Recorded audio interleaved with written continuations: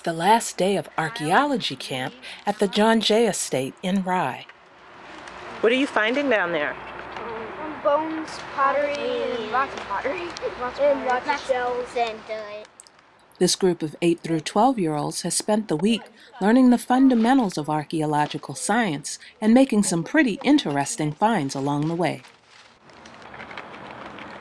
What kind of bone is that? um maybe a pig bone. How do you know that? Oh, Dr. Boschke told us. Dr. Boesch. And um, this is a um another bone. What's that one? Um, I think it's another pig bone.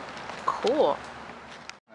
Those pig bones may indicate the location of a smokehouse near the already excavated kitchen and ice house on the estate property. With so much fun and learning in just a week's time, Executive Director Suzanne Clary is confident the archaeology camp will return next year. This is Renea Henry reporting for Patch.